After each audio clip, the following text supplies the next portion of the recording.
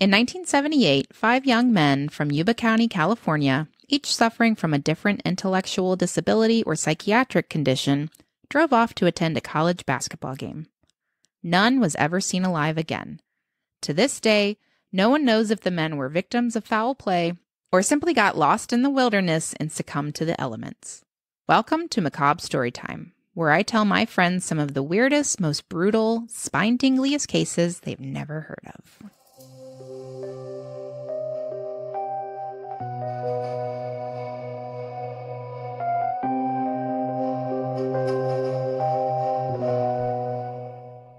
Ta da! Hi, Hi. how's it going? Good. Long time no see. Yeah, crazy. Uh, anything new and fun in your world before we get going? Oh, we should probably say who we are. I'm Sarah. Uh, I'm Rhonda. There we go. Now, Rhonda, is there anything fun going on in your world? No, nothing? Cool. Just kidding. Fine. no, nothing going on in my world. What about you? well, I'm glad you asked because I would like to give another little plug to our sister podcast, Malice Aforethought. Sounds boring. Rude. Um, so it is, I guess it's, I said this before, it's like our half sister because it's just me doing it. It's my solo pod. It is not as funny as mine. right. Uh, well, it's not really supposed to be, but whatever. Uh, anyways, uh, I mean, I, I, I'm just naturally funny, so there's that. But anyways, uh, so this pod, it's a little bit different. It is true crime, but this one, first of all, it has seasons as opposed to just weekly forever episodes. And each season deep dives into one case. So, for example, season one, which is out right now, uh, anywhere you get your podcasts, it is on the butcher baker of Alaska, Robert Trashbag Hansen. Uh, and I call him that because he's a piece of shit. Uh, listen to it, you'll find out why. And uh, so, season one has nine episodes about uh, why we hate Robert Hansen, and that is out uh, anywhere you get your podcasts now. So, go listen to our sister podcast, And the name again? Malice Aforethought. Okie dokie. Go out there and listen. Listen. Download it. Rate, Listen review, etc., Share etc. All of that. Yeah. Um, okay, are you ready to just get right into it today? Let's do it. Let's do it. Our story today revolves around five friends from Yuba County, California, which is just north of Sacramento. The five friends are Gary Mathias, Bill Sterling, Jack Huett, Ted, and I'm sure I'm going to butcher his last name, Weir. Weir? W E I H E R. Sounds right. Weir? Wire. What wire? Eh, I don't know. I'm gonna say Weir. and Jack Madruga. So there's two Jacks. Uh, so let's talk a little bit about who they were. Now, before I get into uh, each one specifically, I will uh, preface this by saying that each of the men, uh, each of the men had a different intellectual disability or psychiatric condition. Okay. Okay. Uh, so before, I just wanted to preface with, with that so it uh, you kind of gives a, a fuller picture of who they are as I read this. Okay. Now, Jack Madruga, he was 30 at the time of this incident, which took place in the 70s. We'll get we'll get there, but um, just think about the fact that it is the late 70s. Okay. Jack Madruga is 30 years old, and he was a dishwasher at Sunsweet Growers, which is a dried fruit company. And uh, he, at one point, he even helped his friend Bill Sterling, one of the group, get a job there. Now, family members later told investigators after this incident happened that Jack was mentally handicapped. And I, they did not use the word handicapped because, again, this was the 70s, but I do not like the R word, so I'm not going to use it. Um, but just know that if you, right, if you look up any, um, uh, like newspaper articles, uh, they do use it, and and not like in a mean way, just that that's the word they That's used the at the time. so, uh, just just be prepared for that. But uh, we're we're not going to use that word. So basically, they said that he was not mendi- mentally handicapped in the quote normal sense, but just that he was, and this is a quote, slow in his thought processes. So just a little delayed, maybe. Okay. Okay. Uh, he could manage his finances and he could generally take care of himself, but he, along with all the men that we talk about, he did live with his parents. Everyone lived with their parents. Okay. Now, Jack had what was classified as an uh, unremarkable tenure of service with the Army. He was a truck driver from 1966 to 1968 uh, before he was discharged. And as such, he was only one of two men in this group of five that had a driver's license, knew how to drive. Okay. Okay. Next, we come to Ted Weir, and I'm very sorry to his family if I'm saying that wrong.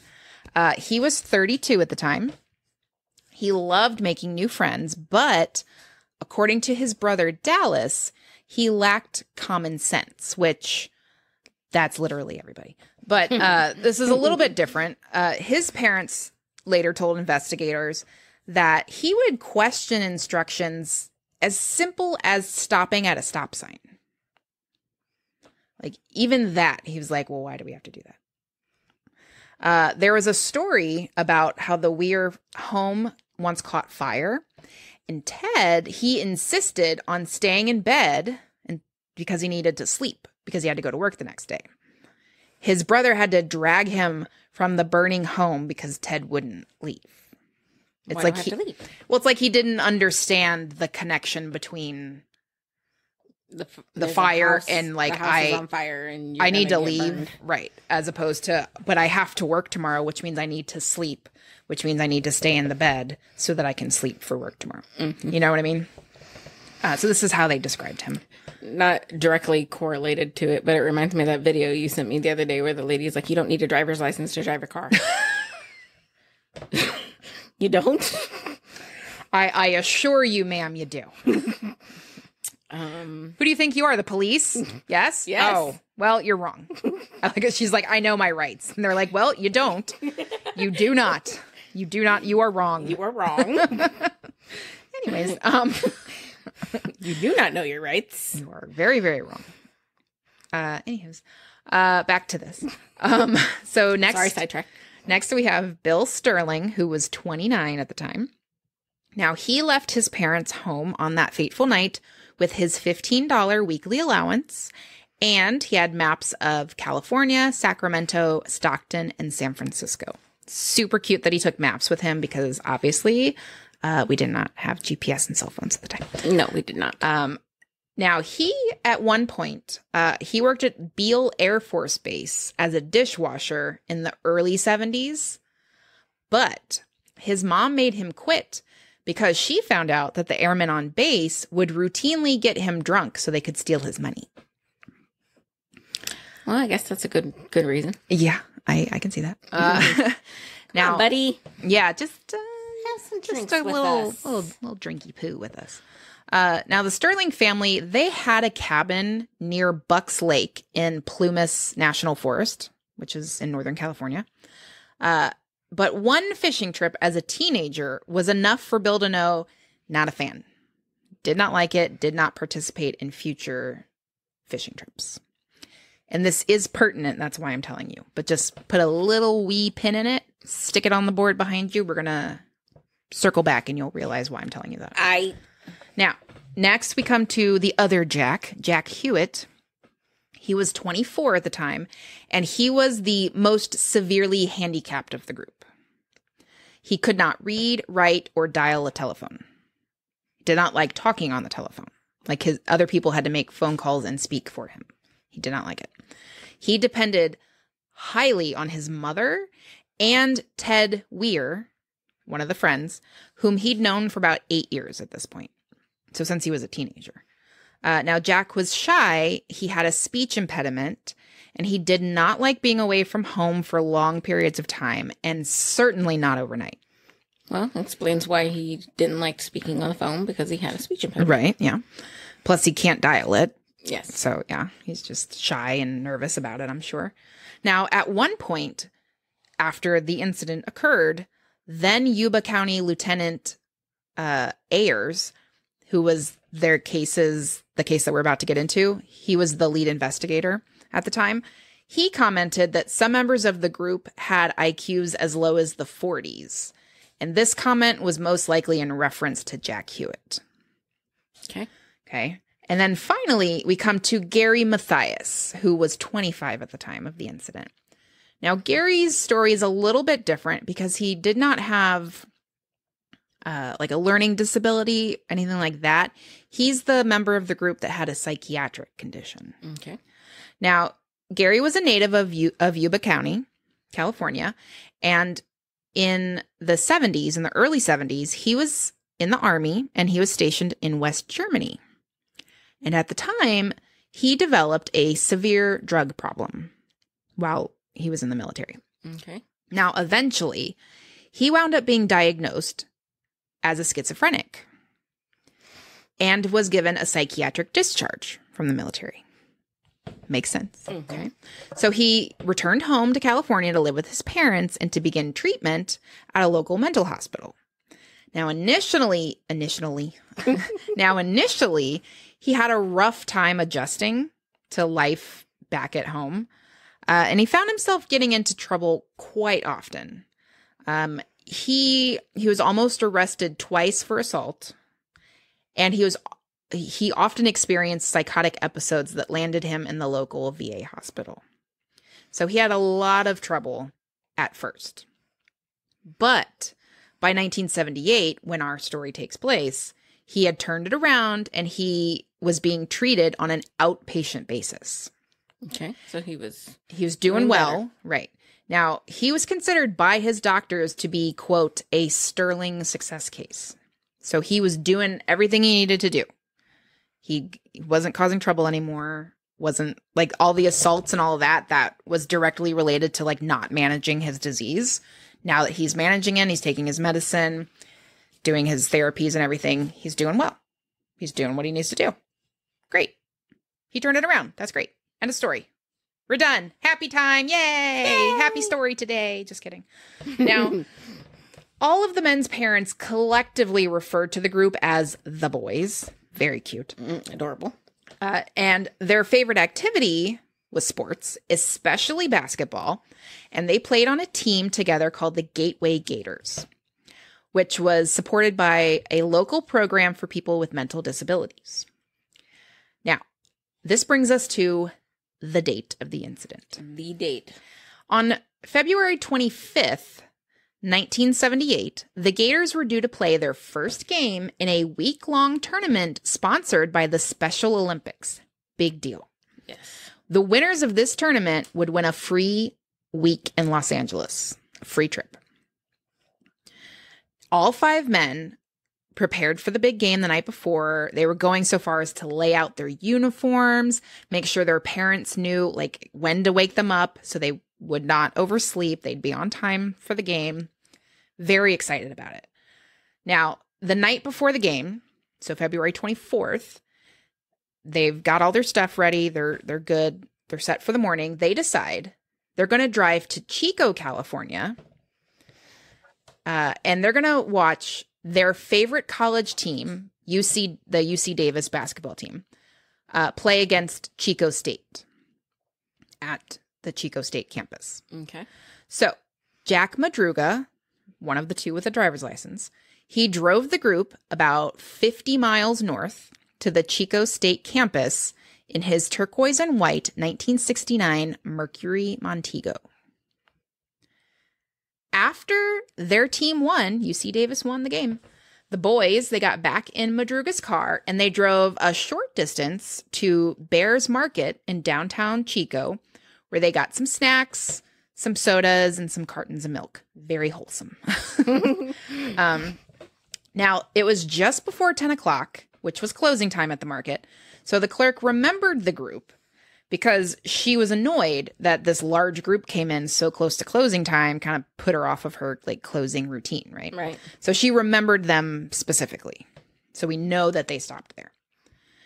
Some of their parents, they stayed up late waiting for their sons to come home. Because remember, they're delayed, they're a little bit different. They're very, I'm sure they're very protective of their sons. I'm sure. So they stayed up wait, stayed up wait, stayed up late waiting. Uh, when none had returned home by the next morning, the police were notified and they reported all five men missing. So, the investigation. Now, police in Yuba, both Yuba County and Butte County, which is the next county over from Yuba County, they began searching along the route the men took to Chico the day before, like between where they lived in Yuba City and Chico. Now, police found no sign of the men or the car on this route, but a Plumas National Forest ranger contacted authorities a few days later to report that he had seen the missing Mercury Montego parked along Oroville Quincy Road in the Plumas National Forest on February 25th. The next day. Right. This was the day after they went missing. Initially, the ranger didn't really think too much about seeing this car because a lot of people would drive through the area on weekends for ski trips. Mm-hmm. Uh, but after he saw the missing persons bulletin, he knew that this was a vital clue in the investigation, so he contacted authorities. So the authorities go, the car is there. Evidence inside the car, like uh, empty wrappers for those snacks they bought, uh, empty soda cans and milk cartons. Uh, those were all in the car from that they purchased in that market in Chico Mm-hmm. along with programs for the basketball game that they had been at and a California roadmap. So this suggested that the these five men were in this car between the time they were last seen at this convenience store and the time that the car was abandoned here. Right. Okay, so that's literally all we know. Because finding this car, it only led to more questions. First question is the location of the car. Uh, I don't know what you know about uh, Northern California geography, Not much. uh, but um, Yuba County's here. Plumas National Forest is here. Chico's up here. How did they get over here? So basically, uh, they're going to go not due north, but pretty north to get from Yuba County to Chico. Uh, like like I said, they're just kind of shoot north. Uh, Plumas National Forest is to the east. Like, how the hell did they get over there? Mhm. Like, why is the car there? Like, we know how they got there. They got there in the car, but why? Right. Um, When they were supposed to be going back home. they're supposed to be exactly supposed to be going just south back home. How the hell are they way over here in Plumas National Forest? So the car, it was found 70 miles. So further than even the distance between home and the university that they went to. It was further away than that because that was 50 miles. This is 70 miles. in the opposite direction. It was 70 miles away from Chico, and it was far from any direct route between Chico and Yuba City or any of the men's like individual homes. It was a completely different direction. None of the men's families could speculate as to why they might have driven up this long, winding dirt road on a winter night into a high elevation, remote forest without any extra clothing the night before this big basketball game that they had all been looking forward to for weeks. There was literally no reason for them to be there. Right. So, we already know that Bill Sterling did not like spending time out in that area because that's his family had the cabin out in Plumas National Forest. Mm-hmm. And Jack Madruga's parents said that he did not like cold weather and he had never even been up into the mountains. Now, Ted Weir's mom would later tell reporters her son would not have missed that basketball game for anything.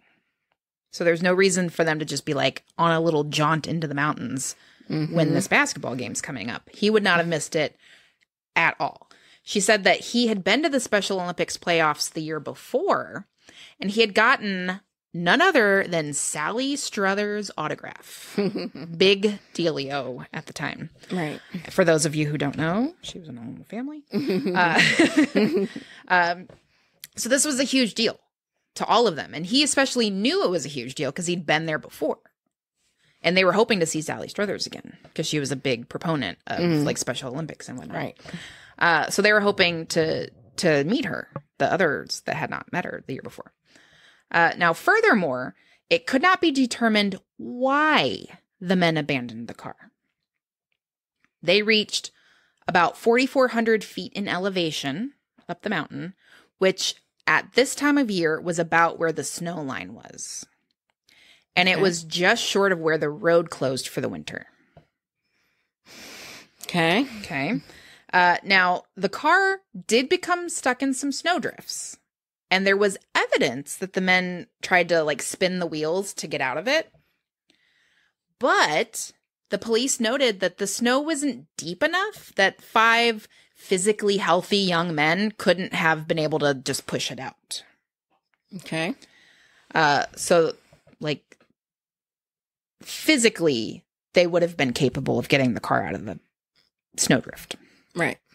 uh mentally i don't know if they would have like necessarily Thought about it? thought about it see that's where a lot of questions come in on this case because what were they a what connections were they able to make with things because they were they were delayed Yeah, but you know, two of them were in the military. mm-hmm. One was oh, like okay mind wise, but He- he, was schizophrenic schizophrenic. but he was medicated yes, well, that can affect your thinking. But right but um you know, one of the five would have thought, hey, you know, let's try and you'd push think the car yeah out. you would think that but that's where a lot of questions come in is like what i know as who i am i would think this but like but i don't have developmental delays hmm you know so i don't know what they necessarily would have thought of Right.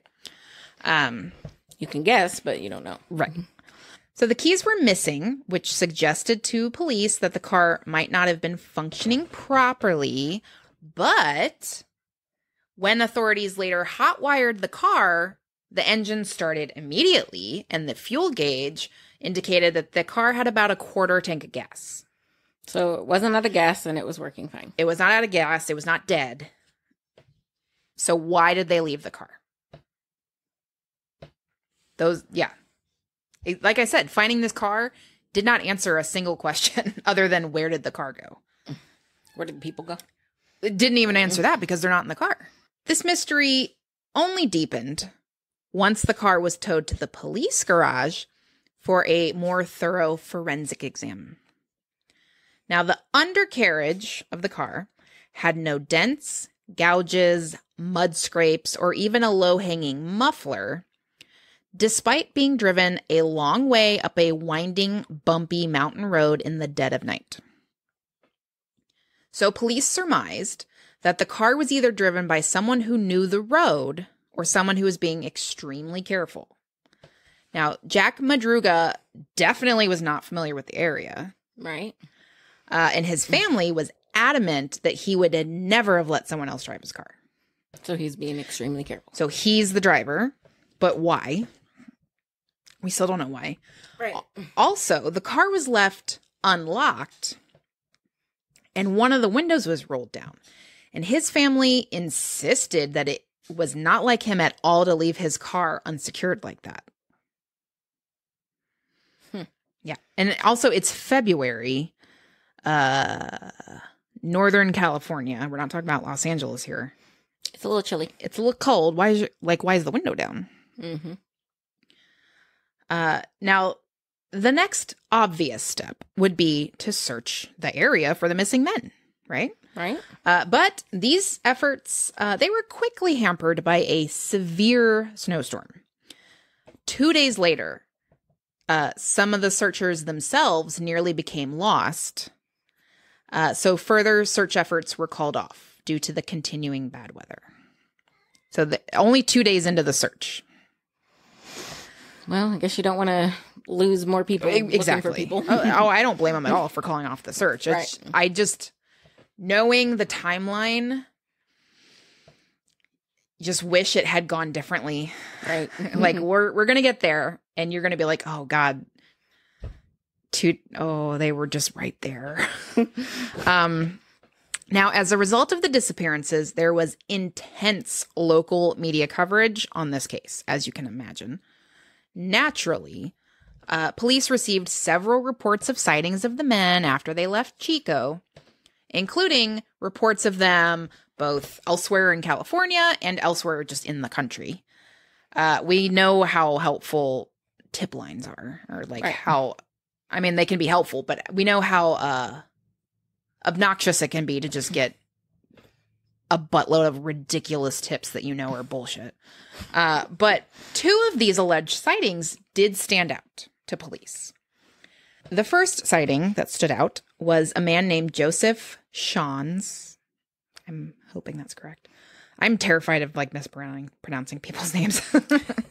um, of Sacramento. Come back at you. It's pronounced this. Sorry. I just I like to be um I like to mispronounce my name. Well that's just fun. Uh I like to be uh considerate. Anyways, uh so he was from Sacramento and he told police that he inadvertently wound up spending the night of the 24th through the 25th on the road near where the group's car was found. So he had driven up uh to like near where he had a cabin because he was just checking on some things before uh, a weekend ski trip with the family. At about 5:30 p.m.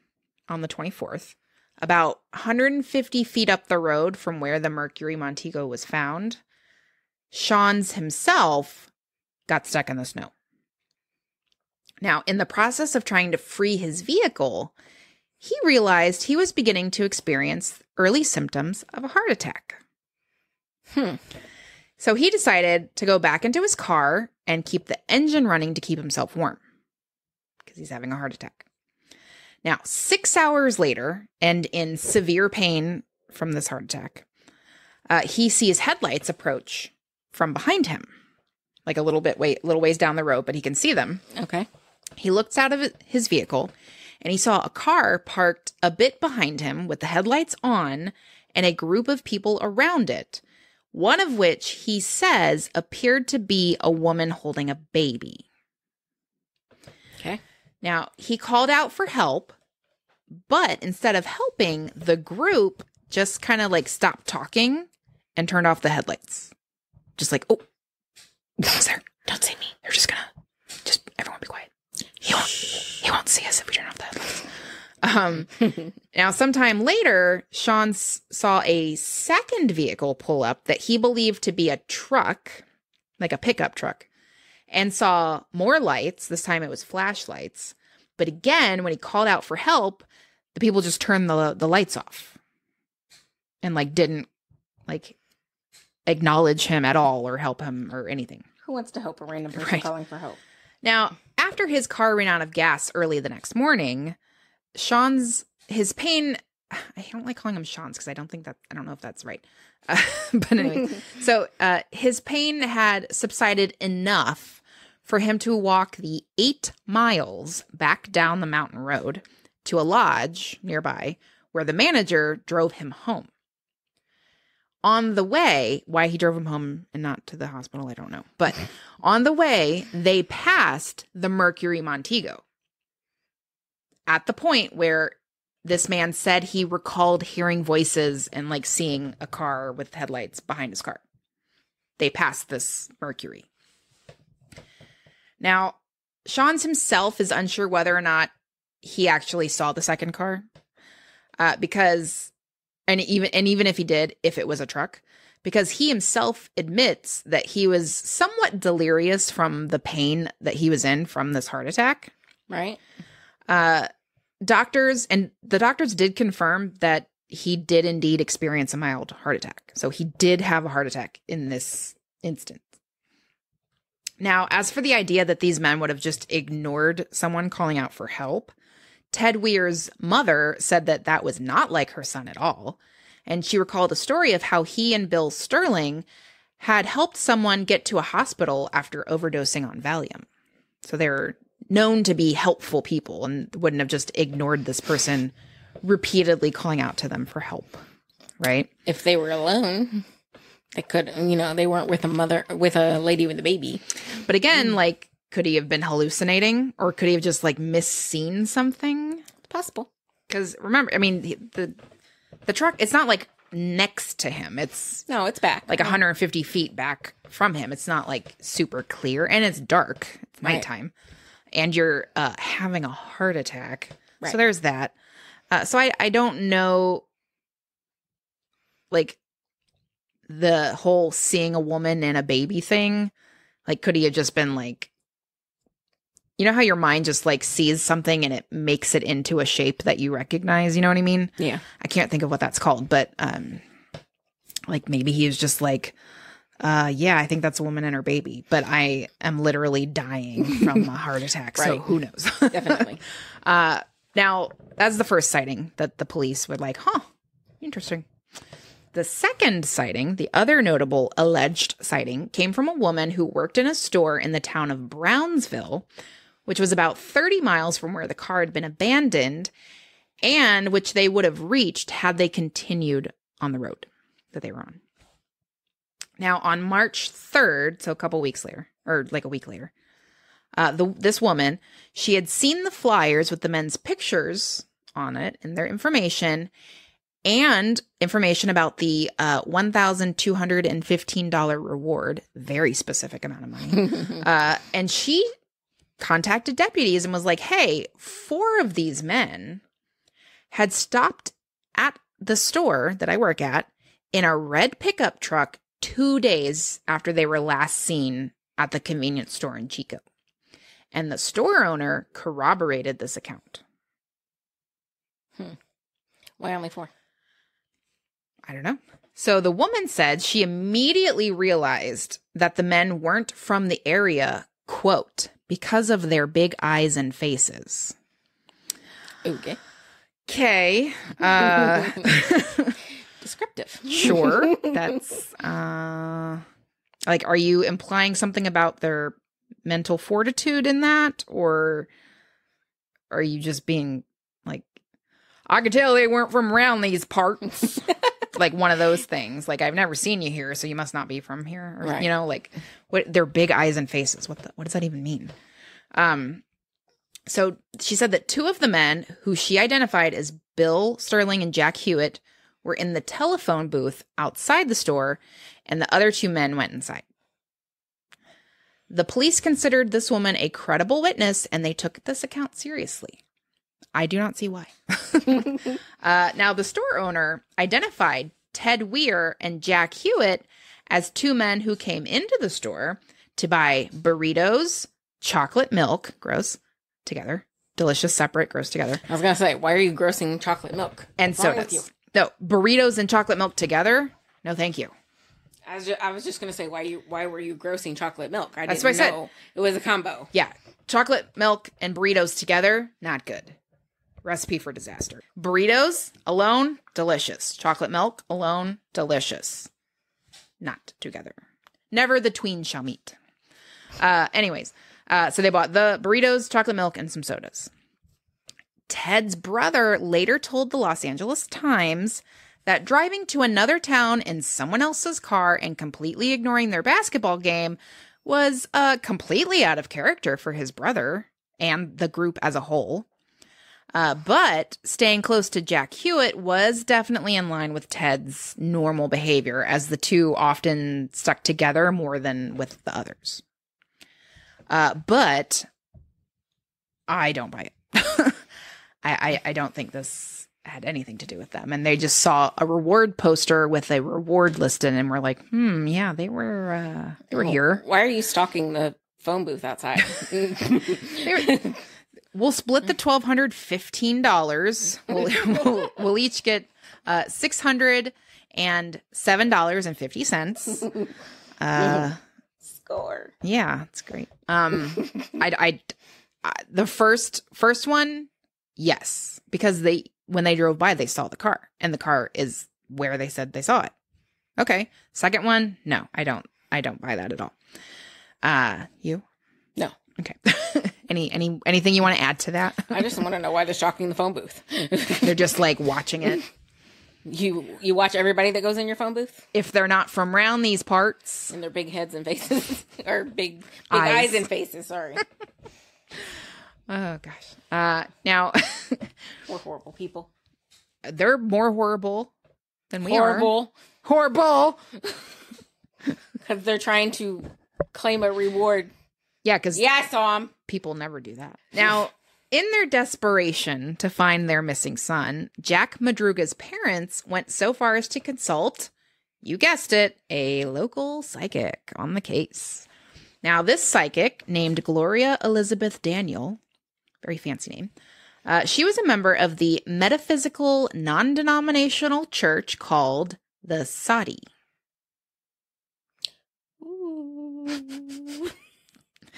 Now, Gloria would not talk to reporters, but her husband, William Daniel, did say that the church, which practiced healing and prophecy, whatever that means, was happy to help and was working with the sheriffs more than the families. Okay.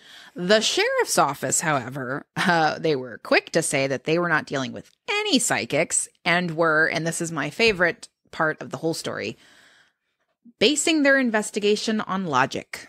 Love it. Little little twist of the knife to those psychics. You mean they weren't following the psychic's advice? they were not. They weren't following. They were, you know, following clues and stuff. yeah, crazy. Police work. Imagine that. Now, Crazy. this brings us to a few months later. It's June 4th, 1978. A little over three months have passed since the five men went missing, and a group of motorcyclists went to a trailer uh, maintained by the U.S. Forest Service at a campsite almost 20 miles from where the Montego had been found. Okay. The front window of the trailer was broken, and when they opened the door, they were met with the unmistakable odor of a decaying body. And it was Ted Weiher.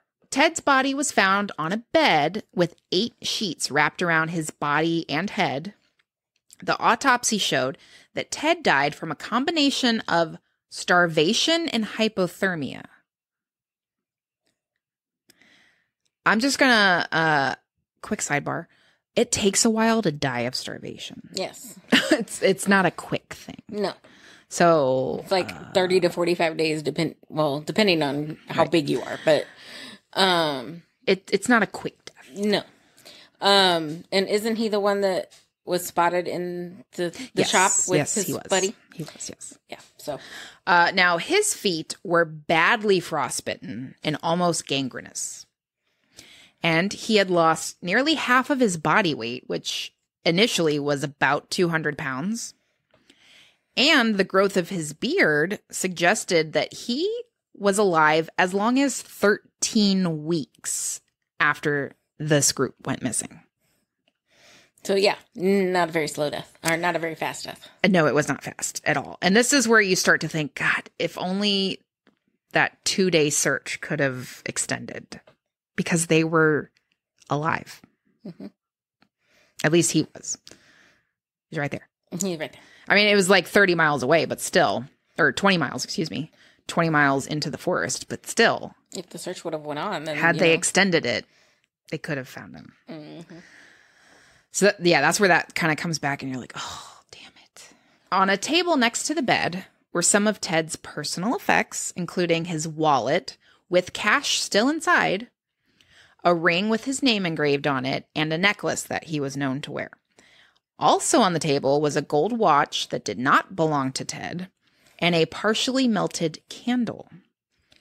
Ted was found wearing a velour shirt and lightweight pants, but his shoes were missing. Remember, his feet are frostbitten, swollen with frostbite. Right. His shoes are missing. Now, investigators, they could not understand how Ted came to this fate. No fire had ever been set in the trailer's fireplace, despite there being an ample supply of matches and paper that could be used as kindling in the trailer. But they never started a fire. Also, uh, the trailer had heavy forestry clothing inside of it, which would have helped keep the men warm during this severe storm. Right? Mhm. Furthermore, a dozen military ration cans were found to have been brought in from an outside storage shed and eaten, but a locker in the very same shed held more dehydrated food that was enough. It would have been enough to feed all five men for a year. So there was plenty of food in this That was, that was a shed. good place to find. Yeah. but none of it was touched. Just those just that dozen uh, military ration cans. That's all that they took when they had all this food. Hmm. It was in the exact same shed as the cans they did eat, but they didn't touch it. Furthermore, another nearby shed had a butane tank in it with a valve that, had they turned it and opened it, would have fed the trailer's heating system. And this is where you think to yourself, but would they have made that connection? Right. I don't know. Like I don't even know if I would have been, I would have been like, is this gonna blow up if I turn this knob? I don't know what this does. Right. Exactly. Now it also seemed that Ted was not alone in the trailer. Remember, there's a watch in there that's not his, first of all. right. Investigators suspected that Gary Mathias and possibly Jack Huett had also been in the trailer. Now, uh, one of these were a little bit obvious because Gary's shoes were in the trailer. So there was a, it's not like amazing police work to figure that one out. But uh, the thing, but another thing is, aside from his shoes being there, uh, the the rations cans that we talked about, Mm-hmm. uh, they were opened with a P38 can opener, which only Gary or Jack Madruga would have been familiar with from their military service. Right. Now, investigators suspected that Gary, his feet also swollen with frostbite, may have decided to leave his shoes behind and put Ted's shoes on. Maybe Ted had bigger feet uh, when he decided to venture back outside. I can see that. Mm-hmm. Now, after finding Ted's body, searchers returned to Plumas National Forest to continue the search for the remaining four men. Because remember, this is June now, so Right. we don't have to worry about No winter snowstorms. storms. yeah.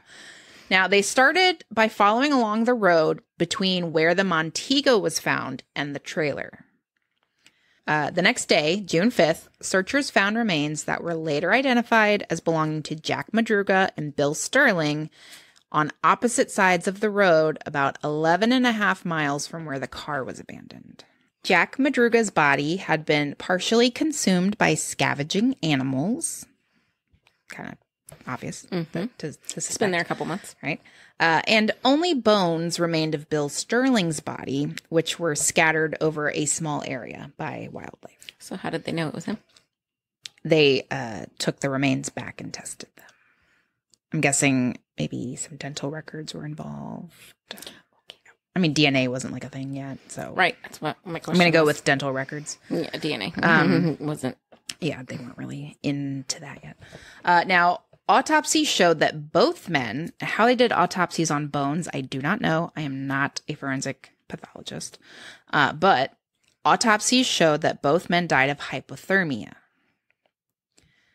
Deputies surmised that perhaps one of the men gave in to the need to sleep that comes along with becoming hypothermic or like the late stages of being hypothermic and laid down and the other friend or the other the other man stayed with his friend later succumbing to hypothermia himself Makes sense. yes it makes sense and is still very sad because It is very sad.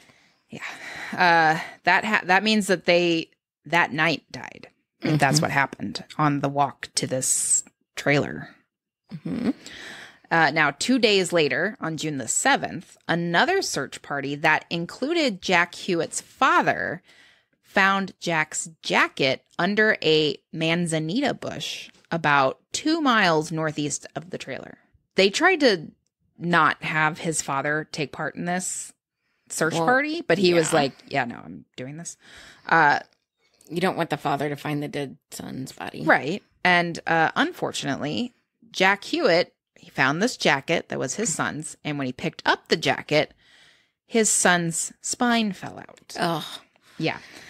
Um, poor, poor dad. yeah. Uh, I really wish he hadn't been the on this search party. his shoes and jeans were also nearby, which helped identify the body. And his skull was found about 300 feet away the next day. And dental records later did confirm that this was Jack Huett. He too died of hypothermia. About a quarter mile northwest of the trailer, searchers found three Forest Service blankets and a rusted flashlight by the road. But it was impossible to determine how long they'd been there, who left them there, or if they were connected to these five men in any way. But they could have been maybe, like maybe Gary took them from from the trailer and like they had been abandoned at some point. Maybe, but we don't know. They could have been there for much longer or not as long. You know, who knows? Right. Uh, now, Gary All Mathias, right? Uh, Gary Mathias was nowhere to be found, and he had not taken his medication in months. Remember, he's the one who has been diagnosed with schizophrenia. He had to take three pills twice a day, which he had not been since February. So they distributed pictures of him to mental institutions all over California. Because if you have an untreated schizophrenic person just kind of wandering around, they're probably going to wind up in one, right? Right. But the search for Gary Mathias was called off on June 19th, and no trace of him has ever been found. Hmm. Just evaporated, huh? Just is gone. Poof. Right. So, some theories. Uh, investigators, they were never able to completely explain the events that led to the deaths of these four men and the disappearance of the fifth. Um, it was hypothesized that the men, they simply took a wrong turn on their way home. uh, and that put them on this fateful trip up the mountain road. So, for some reason, the men decided to abandon their car, which was fully functional, had gas, and instead of heading back down the road in the direction they had come from, where they know there is civilization to be found, they continued up the road in the direction they were heading. Right. And again, this is kind of where you come back to like, why would they have done that? Were they just like single minded, like, we got to keep moving forward, or like, why not go back? Right. But that's trying to get into their heads when Yeah, they don't I- think like we do. why why why not go back uh yeah it's and that's what people are are asking like why would they not go back where you know what's back there instead of continuing where you don't know? And some of you have never been in the mountains and some of you don't like the mountains. So why continue? Why not go Mhm. back? Uh so like i said just lots of bigger questions uh, to be had here.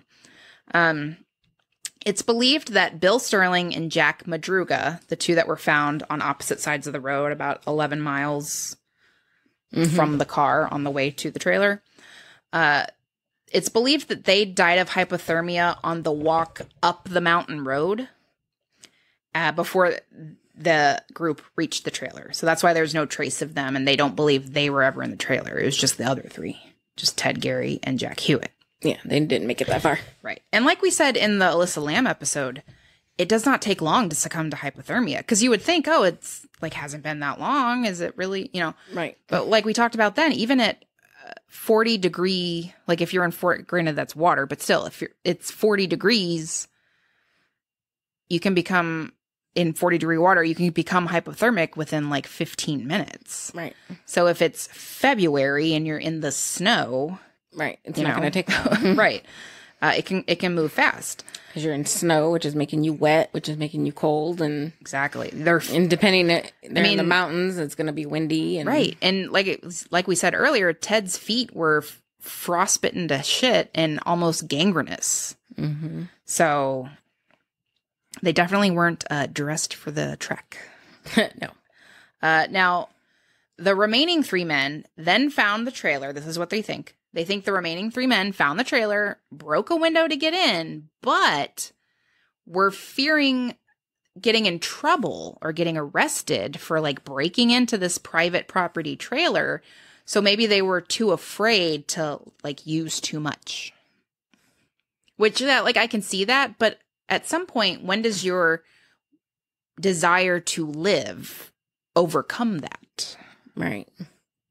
I mean, again, we get into the they weren't they don't think like we do because maybe to them getting in trouble is worse than dying. Right. Yeah. I mean, well, maybe they didn't think death was An option. really going to happen. Yeah. Um, They didn't think that was because it's I mean it's just it's just snow and cold, like you know, Right. big deal. it's not gonna uh, happen to us. Uh, yeah, I mean maybe they just didn't think that was like really going to happen. right. But Me, I find a trailer loaded with food and heat and blankets and warm clothes, and I'm staying. yeah, I'm I'm gonna I'm gonna eat the. I'm not gonna die of starvation. I'm gonna eat I'm hunkering down. We're gonna even if it's here. dehydrated uh, ration food. I'm still gonna eat it Exactly. because I my my desire to live outweighs my desire to not eat dehydrated ration food. right.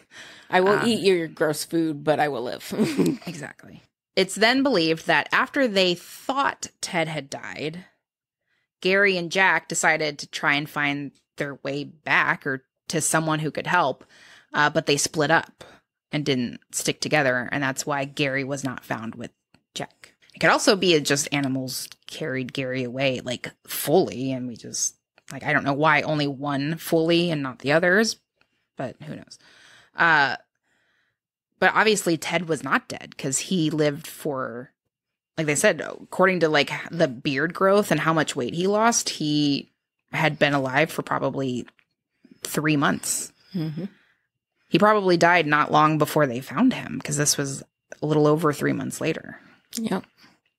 Now, Which sucks because you know exactly, he waited so long. exactly. He's just sitting there, barely, barely holding on. Really, just probably just laying there. It's just, it's sad to think about. Slow, agonizing. Just Just yeah, just laying there with your feet like about to fall off and just starving, like literally starving, to death. and freezing. And yeah, it's just Probably, you know, dying of thirst too. yeah. I mean, dying of thirst will kill you faster than starvation. Yeah, starvation. I guess they gave him They mu- he must have had a water source. something. Yeah, I don't know. That's like the main theory the, of like the way things went down. I will say, and I don't put any stock into this, and I and it really irritates me what I was reading this part, this particular theory, or I don't know if theory is even what I would call it, but uh, the families of the four deceased men think that it's possible that Gary Mathias had something to do with their sons' deaths, which I think is bullshit. And I think they just didn't like Gary because it was it was known that they didn't really uh, like him as much. They didn't really trust him as much because he'd had these problems, like uh, you know, getting arrested and all this stuff, uh, and and some uh, some violence issues when he was not being treated for schizophrenia. Uh, but again, So that was had a problem with his mental Right. mental illness. but it had been a while. He'd been He like on the on straight the- and narrow. right. He was doing what he needed to do. And I just think they just didn't like Gary because he was a different kind of different than their sons. Right, and he was having this problem because it, he was having problems adjusting to life after the military After the military and and schizophrenia. being diagnosed as a schizophrenic. right, both of those together, even one of those can Yeah. give you, you know, issues. Yeah. and you have both of them. There's going to be issues. So I'm sorry. yeah, exactly. And I I just think it's kind of bullshit that they were like I think he had something to do with it because like I guess cuz he had disappeared, they didn't know where he went. And they just were trying not that they were trying to pin it on him, but they were like I mean, I get where they're saying maybe he did something. I I'm get like, where they're coming from. You know, all my, you know, my kid's dead and all these other friends are dead, but you're the one that, you know, just. but we don't know if he's alive. Right, I know, but I'm sure he's dead too, honestly. well, he's probably dead too. But you know, we don't have an answer. But like, so no answer means you know you had something to do with it. You just disappeared. that's the thing. I think they're just trying to point a finger because they didn't like him because he was he was a different kind of different. He was different in the wrong way for them. Mm-hmm. And here's the thing if he were alive, like we said, he was off his medication for over three months at this point when the bodies are found. Mm-hmm. Uh, if he's out there, he's going to be causing trouble because that's what he did before. Mm-hmm. If he's if he's alive and unmedicated, which he isn't because his medication was at home because they weren't supposed to be gone for Right. overnight. They were supposed to come back home. If he's out there and unmedicated, he's going to be causing trouble. You will come across him. Yeah. But you know, But no trace of him was ever found. they just wanted to point a finger and blame somebody for the deaths of their kid. Right. And I just think it's because he he wasn't the right kind of different. Right. And that's why they're kind of all four of them kind of got on I don't know, kind of pointed the finger in that direction. And and they were talking about how like uh his family didn't participate in like interviews or or whatever things they were doing. And I'm like, okay, first of all, they know you like literally did not like their son who has also disappeared. It's not like he's at home with them living it up. Right. He's gone. They also lost a child. And you are acting like that child did something wrong. I wouldn't want to be around you either. Exactly. I wouldn't want to take part in shit with you. Yeah. Uh, so I don't blame them at all for not wanting to participate in these things. Also, just like like we said all the time, people mourn differently. Their child is gone. Maybe they don't want to keep rehashing it in all these interviews and things. exactly.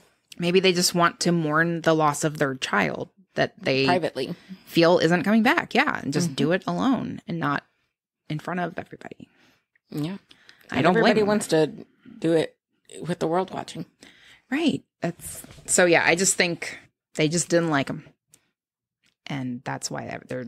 So I don't even consider that a theory that that he did something. I honestly, I think he died up there on that mountain, and I don't know if he fell into something, or uh like animal an animal took his entire body away.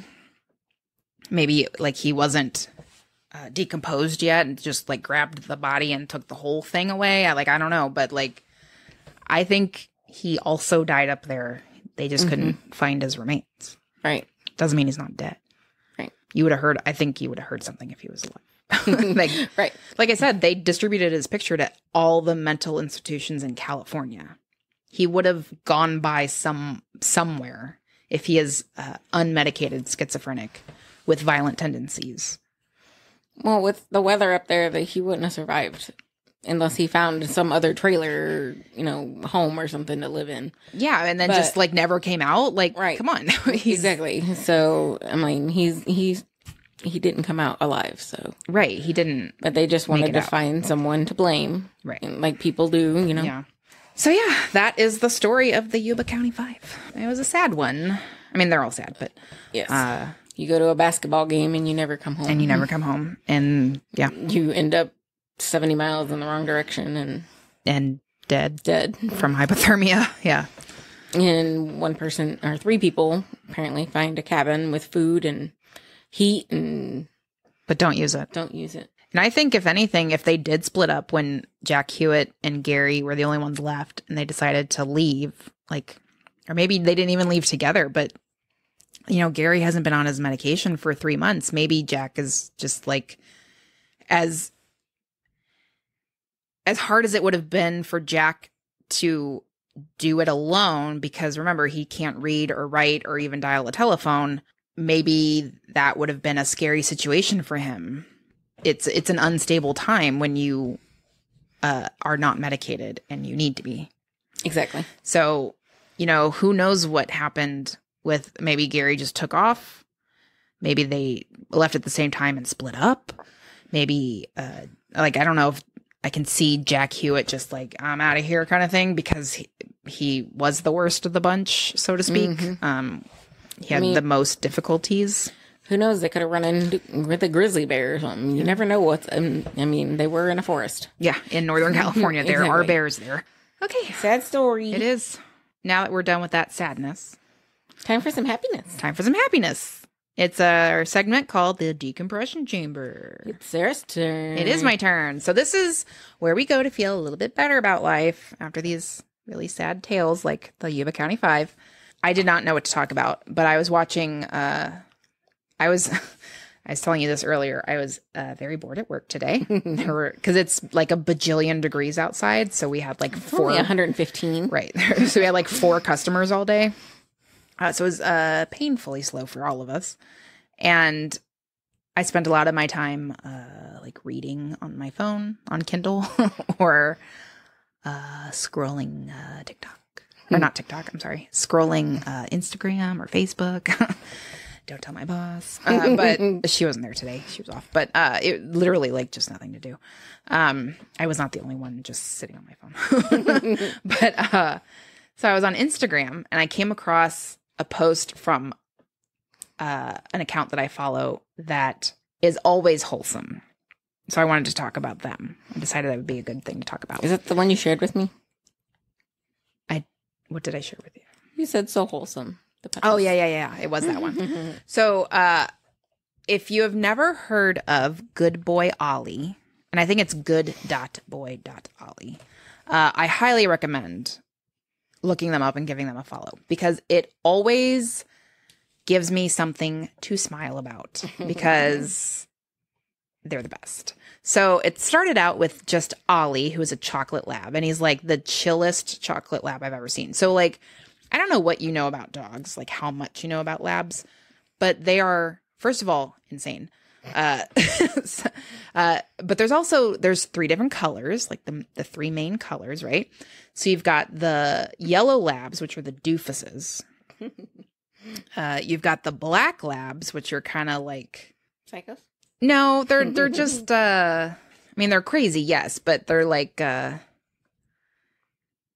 maybe more like they're not as much of a doofus as the yellow labs. Yellow labs just every single one I've ever known is just a doofus. And I don't mean that in a bad way. It's adorable and fun, but they're doofuses. Black labs not as doofusy. um they like to eat everything. Like literally whether it's edible or not, they just eat it. Uh chocolate labs are the fucking psychos. I almost had my shoulder dislocated by two chocolate labs at one point when I worked at a doggy day camp. They are crazy. Okay. But this chocolate lab, super chill. He is just like literally the goodest boy ever.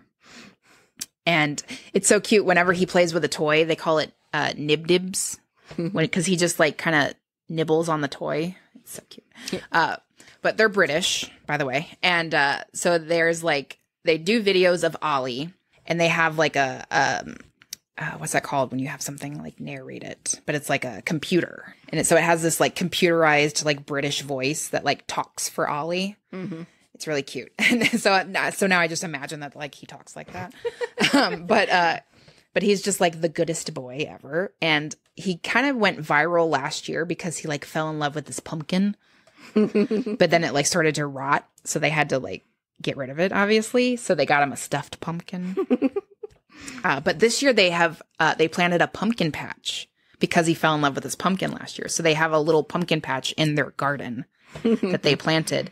And they had did a little video of them of the dogs like helping plant the garden. And they were like digging the holes to plant the seeds in. And then they'll like uh Ollie will carry things in his mouth, so he would like carry out the little basket with the gardening tools in it, and like uses the, they like hold his paw and like use his paw to like pat down the seeds and stuff. is really cute. And then they painted a sign that's like Ollie's pumpkin patch, and then they like got their paws and like dipped their paws in paint and like put little paw prints on the sign. It's just like ridiculously adorable. So they have their own little pumpkin patch, and uh, but this brings me to Ollie has a a brother that I, I guess late last year maybe uh, they got Ollie a new brother, and it's a yellow lab, so he's a doofus, and they will tell you that himself. They they're always like they'll show pictures of him with like his lips like stuck up on his teeth, and like, and it's always just like you know it's one of those like no thoughts just vibes deals with with him. But uh, so they got this new puppy this yellow lab. And I love telling people the story of how they came up with this dog's name, even though it's not even my story or my dog. And I do not know these people whatsoever. but I love, love to tell this story to people who don't know about Good Boy Ollie. So they get this new puppy and they want to name him, obviously, but they don't know what to name him. So uh, every Saturday, Ollie gets, he has this little uh, like metal container and he gets to pick a piece of paper out of the container for an activity to do. It says activity jar. So what they did was uh, they wrote down some dog names that they were thinking about, and they put them in his activity jar for him to pick. So what he'll he'll they'll put the jar down and he'll reach his nose in and he'll pick up one piece of paper and he'll just go bleh and like blem it out and spit the paper out and then mom like reads it and that's the activity they do that weekend you know Mm-hmm. so they did this with the names put the names in the activity jar, and he was just like, hmm. And they're like, come on, you you know what to do. You you reach in the jar, you pick out a piece of paper, you're like, you know what to do. And he kind of like he got up and he kind of started to walk towards his toys, and they're like, what what's he doing? And he goes and he picks up his potato toy and he brings it over, and they're like, oh yeah, that's your potato toy. You love your potato, okay. Uh, we're not naming the puppy potato though, so just pick a name that's in the jar. And then uh finally he's laying there and he's he won't do it. He won't pick a name out of the jar. And he's just kind of laying there and then he picks up his potato toy and he drops it into the into the activity jar with the with the puppy names. So they're like okay, fine. So they add some names to the bunch that are like potato themed. So there's like uh, there's Tato, potato, um, but there were like five like potato themed names, like I don't know, like Spud or something. I don't know, Tater Tot. I don't know, but there were like five uh, themed names that had to do with potatoes, and they put them in the jar, shake up the jar, put the jar down. And they're like, okay, pick a name. He picks out a name finally, and it's Tato. so they named the dog Tato. so this dog is named after a potato. and he like look I mean he acts like a dog named after a potato. He's just like they call him like the baby raptor and he's just acting like a psychotic yellow lab puppy named and potato. named Tato. Yeah, and all these. It's just so. It just always makes me smile because they go and they do these little activities, and they're uh like Ollie's still good boy Ollie, and then he's got little baby brother Tato who's like because they'll be like Ollie does nib nibs, and it shows him like just nibbling gently on his toys, and then they're like you know the baby raptor, and then he's just like and just like destroying things, and it's just funny. And they're like Ollie does wormy worms, and he'll like after he gets wet, he'll like, you know, rub his back against the grass or whatever. And then Tato's just like flopping wildly or whatever. It's just like, it's just funny that they like show the differences between the two of them, but they're still like best buds and they'll like cuddle up and sleep together and stuff. So, I So sent you that one today where it's like, you know, about him being a big brother and he's like his, his friend to rest his head on and He can nib nib his brother now. he can nib nib his brother, not just his toys. Yeah, it's just like the most wholesome account on Instagram. So if you ever just need to smile about something, you can go to Good Boy Ollie and and you will it will happen. it's just like the best. I love it. I also am, am obsessed with dogs, so there's that. But um but it's really great if you're ever just feeling down and need something. So yeah, that was my decompression chamber story. So cute. I feel so much better. Right? And that's just me explaining it, not even you watching it. Uh, so yeah, if you guys want to submit your own stories for the decompression chamber, we would love that. Rhonda, how do they do go about doing that? Go ahead and send that to us at macabrestorytime at gmail.com and put um, decompression chamber in the um, subject line and let us know if you want us to mention your name and where the story. Yeah, and we'll we can give you a shout out on the on the pod. on the podcast. yeah, and uh, I would really love to have people actually send us some stories to do. I think that would be really fun. I agree. See what you guys want to listen to besides us just telling you about our dogs and And your Children. child, I would say our children, but I just have the dogs and Frank. you have my child. That right. Yeah. um, but yeah, so thank you so much for joining us for this episode of Macabre Story Time. To stay in the know on all things macabre, follow us on Instagram, Facebook, and TikTok at Macabre Storytime, or you can email us at that same email address, macabrestorytime at gmail.com. And once again, if you are interested in supporting the show, head on over to our new Patreon page at patreon.com slash macabre storytime. There are three tiers to choose from if you want to um, support the show. For a dollar a month, you can be a Death Water drinker. Yum. Delish. For three dollars a month, you can be a mind bobbler. and for five dollars a month, you can join us in the Terrible People Club. It's a great place to be. It's uh, not hot there. It is not hot. It is very cold. It's, it's chill. Very it's, it's like it's jacket weather. It's hoodie weather. hoodie weather. It's perfect. Yeah, lots of. Uh, I like hoodie weather. Hoodie and legging weather. Yeah, yeah. It's got uh like uh muffins baked goods, I like muffins. coffee. Che- cheese danishes. Yeah, cheese danishes, some coffee. Ooh, coffee. So it's kind of like a Starbucks, but minus the corporate bullshit. Because it's always freezing in Starbucks. They have muffins and cheese danishes and coffee. Iced coffee. That too. That is coffee. I know. Uh, anyways, back to this. Um, as a Patreon supporter, of course, you will have exclusive access to bonus episodes, behind the scenes content, some stickers. We're working on those. We've already gotten the first piece of artwork back for stickers. So hopefully, those will be in the works shortly.